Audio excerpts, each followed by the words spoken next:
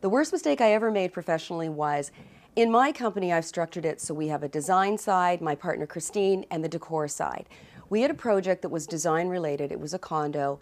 We were running behind, and because I was so concerned, the clients were so upset that they weren't going to be able to move in they, that, when they thought, that they ended up, I ended up wanting to step in, which I did. I took over and I literally camped there to get the project done. We had flowers ready. We killed ourselves. We pulled in every favor.